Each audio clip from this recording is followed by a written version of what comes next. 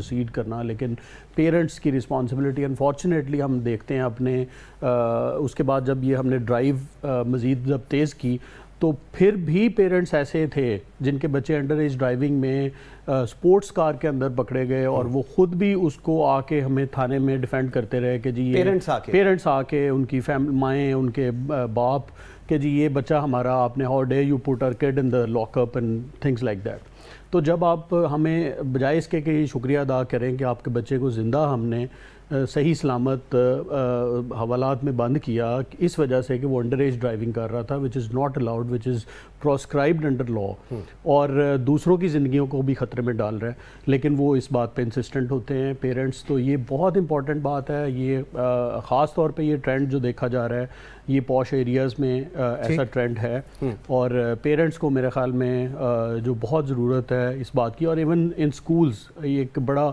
एक ऑस्टेंटेशियस कंपटीशन बच्चों के अंदर देखा जा रहा है जिसको आई थिंक साइकोलॉजिस्ट को भी इस बात को असेस करना चाहिए कि आपस में जो बच्चे हैं उनका कंपटीशन ही इस बात पे हो रहा है स्कूल्स के अंदर कि कौन कौन सी गाड़ी में आ रहा है कौन कौन, कौन सी गाड़ी में? आ रहा है। तो जब ये जिसका एकेडमिक्स के साथ कोई ताल्लुक नहीं है जिसका कोई sports activities extra curricular activities के साथ कोई ताल्लुक नहीं है तो ऐसी चीज़ों पे फोकस ही क्यों किया जाता है? बिल्कुल ठीक। बहुत सारे इनिशिएटिव आपने लिए स्पेसिफिकली अगर मैं लाइसेंसिंग की बात करूँ उसको और ये जो मराकज़ बनाए गए हैं। आज की और फॉर्मर आई ने जिस तरह इस पर काम किया वो बड़ी इंपॉर्टेंट चीज़ है। लेकिन सवाल ये है कि आज भी लोग इस चीज़ को एक्सेप्ट करने से गुरेजा हैं। अभी वो जिस तरह बता रहे थे तिहत्तर लाख गाड़ियाँ और तेरह लाख लाइसेंस हैं। हम्म। आप गाड़ियाँ पकड़ेंगे बंद करेंगे वो कल को बेल लगा बेल करवा के फिर बारह सड़क पर आ जाएँगे फिर क्या करेंगे आप? ये एक एंडलेस एक्सरसाइज है unless citizens take assume the responsibility कि ये without license they shall not be allowed to commute on roads simple is that और जब तक ये ज़ीरो टॉलरेंस की पॉलिसी कंसिस्टेंटली अप्लाई नहीं होगी उस वक्त तक हम रिज़ल्ट अचीव नहीं कर सकेंगे।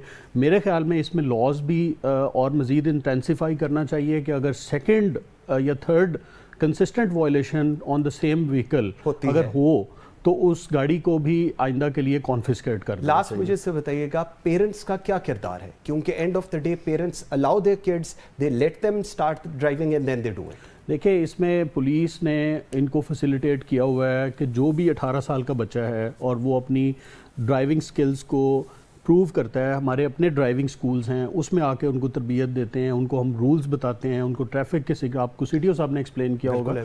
एक बड़ी इलेबोरेट प्रिंसिपल्स हैं और उसमें आईजी साहब ने बड़ा ही इसको ईजियर उसको ईज़ ऑफ़ बिज़नेस को बहुत आसान कर दिया हुआ है और कोई भी शख्स जाके इसको बड़ी आसानी से पहले लर्निंग लाइसेंस लेता है फिर उसके बाद ड्राइविंग की प्रैक्टिस करता है। उसके बाद 18 साल से पहले पेरेंट्स जो हैं उनको बिल्कुल ये उनके लिए मेरे ख्याल में ज़्यादा they should also be robbed in बिल्कुल ठीक। Imran Kishwar thank you very much ji.